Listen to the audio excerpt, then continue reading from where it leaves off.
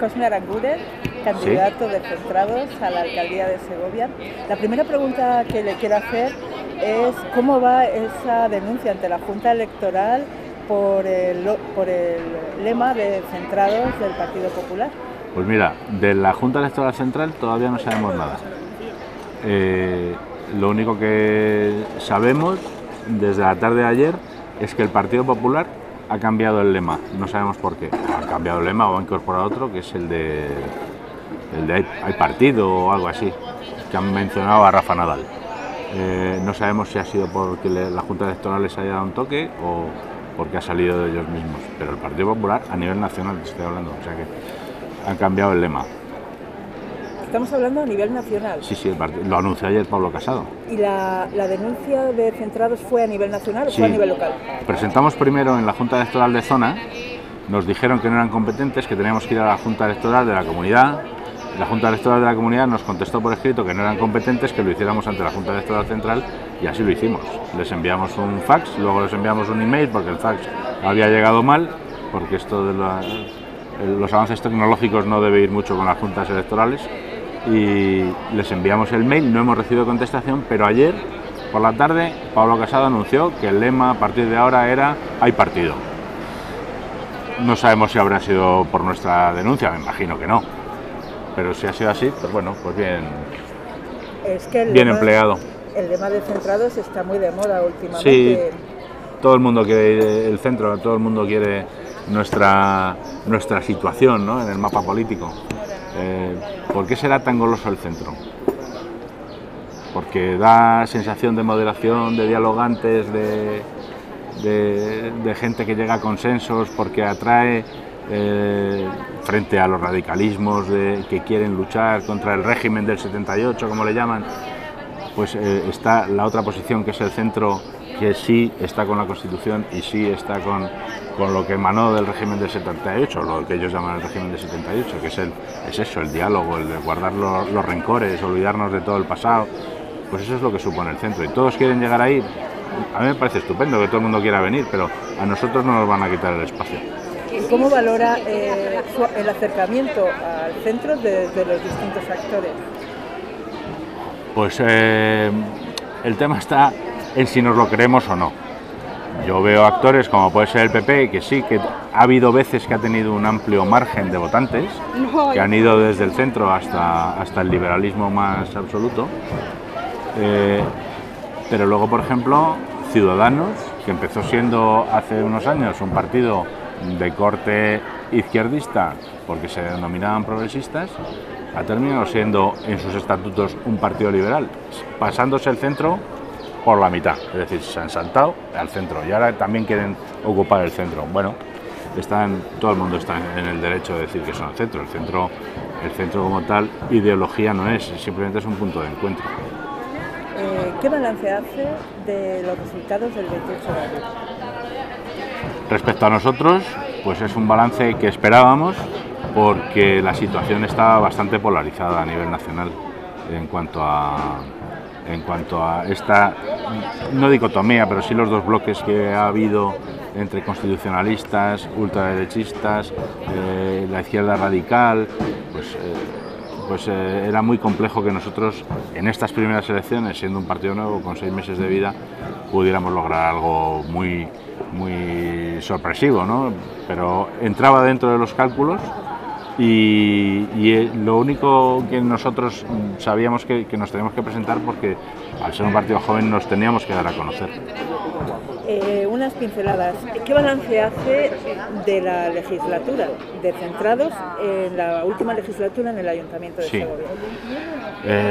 nuestro balance sobre lo que hemos hecho nosotros eh, pues lo consideramos bastante positivo. Nos ha dado un conocimiento de la realidad del ayuntamiento que no teníamos, siempre habíamos estado fuera o habíamos trabajado desde fuera y nos ha permitido conocer la realidad de lo que es un ayuntamiento desde dentro, normativamente, personalmente, recursos humanos, eh, movilidad, policía, te da una visión que antes no tenías y quizá pues te lleva a cambiar de opinión en muchas cosas. ¿no? Eh, pero para nosotros en ese sentido ha sido muy positivo. Se han hecho hemos aportado muchas propuestas, somos el grupo que más propuestas ha aportado en cuanto a mociones y en cuanto a ideas, pues eh, aunque en principio hay muchas que se nos han ido rechazando como moción, pero luego se han, se han terminado ejecutando. O sea que en ese sentido muy contentos. Respecto al balance de lo que es la, el mandato en sí, de lo que es el ayuntamiento, muy, muy pobre porque ha sido eh, un equipo de gobierno muy poco ambicioso, muy poco ambicioso, es decir, han tenido desde el primer momento nuestro apoyo para sacar adelante el PEAIS y, al final se ha sacado de prisa y corriendo, al final vamos a ver si lo podemos aprobar definitivamente en un pleno, si, la Junta deja de poner trabas, pero todavía no se ha terminado ni el PEAIS, se ha retrasado el pliego de autobuses, todavía sigue retrasado el pliego de las basuras, el pliego de la hora ya, mm, pues también, se ha pasado dos años sin, sin tenerlo adjudicado. Y no se ha hecho el cambio de las ordenanzas en cuanto a, la hora, porque eso, ha sido muy poco ambicioso este equipo de gobierno. Ya no digamos en cuanto a inversiones. Sea, se empezó el primer año con 11 millones de inversión, luego se ha ido cambiando, se ha ido bajando, perdón, a 6 millones, a 5, este último año ya son dos y medio, de los cuales reales, reales son solo 300.000, con lo cual, pues un, en cuatro años que se manejan unos 250 millones de euros, que solo 25, por ser generosos, hayan ido a, inversiones reales, pues es un, es un mandato muy poco ambicioso. ¿Cuáles son las principales propuestas que hace centrados de cara a la próxima legislatura? Lo primero y fundamental aprobar la ordenanza de protección del acueducto. No solo la ordenanza de protección, sino que queremos ampliarla a una ordenanza de protección de todos los monumentos históricos o patrimonio mundial o patrimonio histórico o bienes de interés cultural de la ciudad. Creemos que es muy importante que el segoviano se conciencie que el principal motor turístico de la ciudad, propio de la ciudad y propiedad de la ciudad, es el el acueducto de Segovia, porque no hay que olvidar que la catedral que tenemos aquí detrás es propiedad del Cabildo catedralicio y el Alcázar es propiedad del patronato del Alcázar, con lo cual, eh, por mucho que quiera el ayuntamiento ayudar o reparar o restaurar o intervenir, no podríamos en ninguno de los dos casos, con lo cual nuestro único patrimonio es lo que hagamos con el acueducto y las distintas rutas turísticas que podamos hacer. Todo esto para para poder agilizar el, turismo en Segovia, que es el motor fundamental de nuestro, de nuestro PIB. ¿Qué más propuestas? Pues mira, proponemos también eh, un plan de choque de inversiones que se han dejado de hacer por, por haber invertido todos los recursos de este ayuntamiento en, en el CAT y en el CIDE, un plan de choque de 10 millones para en dos años tener todas las infraestructuras, desde asfaltado, pavimentaciones de calles, eh, acometidas, mm, saneamientos, alumbrados, el cambio de alumbrado LED, eh, todo eso en dos años tenerlo terminado con un, con un plan de choque de 10 millones de euros. Otros de los proyectos que también tenemos es favorecer el turismo deportivo queremos hacer una nueva ciudad deportiva desarrollando los sectores A y B que, prevé nuestro plan general y desarrollar en la zona del barrio de la Fuentecilla una nueva ciudad deportiva que pueda, pueda terminar siendo un centro de alto rendimiento y desarrollar o llevar allí el recinto ferial. Eh, recientemente, el pasado 2 de mayo, eh, Segovia tuvo un, colapso a nivel de transporte. Eh, ¿Qué cosas se proponen para que la movilidad no se vea tan afectada, para que el turismo no... En cuanto a movilidad, hay lo primero es cumplir o modificarla si no se cumple la ordenanza o el plan de movilidad que existe en el ayuntamiento. Hay que realizar de una vez o por lo menos proponerlos o tenerlos previstos los famosos parking disuasorios. Hay que tener un plan de actuación para que días como hoy, el 15 de mayo, San Isidro, pues eh, puedan llegar los madrileños y tener parkings donde aparcar que luego les acerquen el transporte urbano al centro de la ciudad. Nosotros proponemos mm, uno en cada entrada a Segovia, es decir, proponemos uno en la zona de Nueva Segovia, cerca de, donde está el conservatorio, proponemos uno en la entrada de Ávila, en, el antiguo parking del Hospital General, mm, que se tuvo unos años abierto, proponemos otro en la entrada por la Nacional 110, por la carretera de Soria, en la zona de San Lorenzo. Y, proponemos el, de, el que se está usando ahora mismo como recinto ferial, el terreno que se está usando detrás del campo, del campo de la Albuera y detrás del colegio Eresma, eh, que se usa como recinto ferial en, las ferias y fiestas, que también sirva como parking disuasorio. Y, y el parking que se hará en el recinto ferial que proponemos en la Fuentecilla también se usará como parking disuasorio.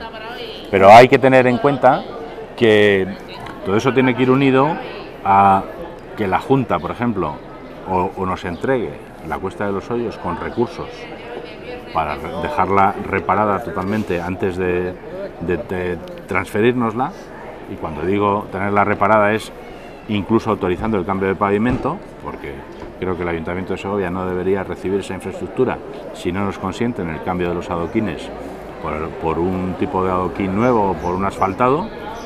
Y, luego el tema de, San Gabriel, ampliar la calle San Gabriel por el otro lado para que las dos, los dos lados de la ciudad puedan tener una, una comunicación más fluida y fácil. Eh, en la rueda de prensa que acaba de dar ha mencionado que, bueno, pues que Segovia va, va a sufrir una revolución tecnológica en los próximos años. Eh, lo que pasa es que de momento la policía local se queja de, los medios de comunicación que tiene. Eh, y, no parece que esté demasiado implementado. Por otro lado, también hay cierta falta de transparencia en asuntos como el CAT o el 5G. No sé qué me puede decir sobre eso. Pues mira, respecto a lo que yo he comentado de una posible revolución tecnológica, eh, todo viene porque nosotros acabamos de, implementar en el ayuntamiento, o se está implementando ahora, el, el, Smart Digital, que fue una subvención que tuvimos del Ministerio para poder desarrollar en Segovia lo que es la nueva administración electrónica y muchas cosas más. Aparte de eso, Telefónica ha venido a desarrollar el 5G a nuestra ciudad junto con Talavera. Creemos que a partir de ahí esta ciudad debe convertirse en un polo inversor, en un polo tecnológico, eh, pero no solo en esos, asuntos de administración electrónica, pero claro, todo eso choca con lo que tú comentabas. Es decir, ¿cómo puede ser que en una ciudad que está haciendo pruebas con el 5G, por ejemplo, no se pruebe ese 5G con los medios de comunicación de la policía local? ¿Cómo puede ser que la policía local tenga que usar sus propios móviles particulares de cada gente para comunicarse entre ellos cuando falla la emisora de radio, por ejemplo. O sea, son cosas que, chocan a cualquiera que se lo cuentes. que la policía local ahora mismo no tenga los medios suficientes porque no tienen vehículos, no tienen motos, las motos eléctricas están paradas. Hay, si a lo mejor tienen 24 motos en el parque, funcionan 4 eh, con los vehículos, con los coches exactamente lo mismo. Es decir, tiene una flota anticuada, no, lo siguiente. Los que son eléctricos puros no pueden funcionar para la policía local, porque en el momento que se quedan sin carga, pues eh, se les para, no pueden ir a recargar a ningún lado y es, totalmente mm, inoperativo. Eh, pero eso pasa exactamente igual con bomberos y eso pasa con, con otro tipo de servicios que deberían evolucionar, evolucionar tecnológicamente de aquí a, los próximos cuatro años y para meternos de lleno en, la era digital. Cambiamos ya de tercio. ¿Qué expectativas maneja Centrales para el Ayuntamiento de Segovia?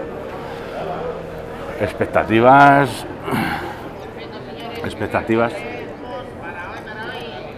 Manejamos todas las expectativas. A nosotros nos encantaría entrar a gobernar con una mayoría suficiente creemos que va a ser muy difícil. Somos un pequeño, un pequeño partido nuevo, eh, que todavía somos desconocidos eh, para, la, para la gran mayoría de los segovianos. Centrados, eh, poca gente conoce que somos los herederos de UPyD, incluso puede ser que alguien conociera poco a UPyD también, con lo cual pues tenemos una lucha no solo con nuestros rivales políticos, sino con el desconocimiento. Esperamos que en estos 15 días podernos dar a conocer y eh, que esa percepción y que ese conocimiento de la labor que hemos hecho durante estos cuatro años pueda llegar a, todos los votantes. Si eso lo consiguiéramos, pues eh, nosotros yo tendría unas expectativas de entrar con unos cinco concejales. Para mí sería una entrada triunfal. ¿Y qué posibles pactos maneja teniendo en cuenta que, como hemos hablado al principio, eh, el espacio de centrados, lo que es el centro, está muy disputado en estas elecciones? Mira, ya lo he dicho en alguna ocasión, eh, la idea de centrados, desde que surgió hace seis meses, una de las ideas es eh, conseguir cambiar en el ayuntamiento la gestión del, equipo de gobierno socialista, es decir, que el, Partido Socialista pase a la oposición y en la Diputación que el Partido Popular pase a la oposición. Ese sería nuestro objetivo principal, por una, una cuestión muy sencilla. Llevan tantísimos años los unos como los otros en esas instituciones que creemos que tienen que darse un paseíto por, por, la oposición y respirar un poco, coger aire e impulso para cuando quieran volver. Pero ahora mismo los segovianos necesitan en el Ayuntamiento de Segovia un cambio y en la Diputación otro cambio. Partiendo de eso, nuestros posibles pactos estamos abiertos a todo siempre y cuando se respete la Constitución. Y ya por último, ya puede mirar a cámara y pedir el voto para centrados. Pues eh, para los que no nos conozcan, yo soy Cosme Aranguren, Centrados es un partido nuevo que ha surgido hace seis meses de segovianos por y para los segovianos. No dependemos de órdenes ni de Madrid, ni de Valladolid, ni del IBEX, ni de absolutamente ningún poder económico, dependemos de nosotros mismos. Nosotros nos hacemos todo, nos hacemos vídeos, nos hacemos ensobrado, nos hacemos absolutamente todo. Entonces, eh, somos eh, un grupo de gente interesada en que esta ciudad y esta provincia evolucione y creemos que hemos planteado un proyecto a futuro de esta ciudad. Tenemos proyecto de ciudad, sabemos, porque hemos cogido experiencia en estos cuatro últimos años, sabemos hacer oposición y así lo hemos demostrado, sabemos gestionar, somos un equipo de gente preparada para gestionar y queremos que los segovianos nos den esa oportunidad de poder demostrar que otra forma de gestionar es posible en esta ciudad.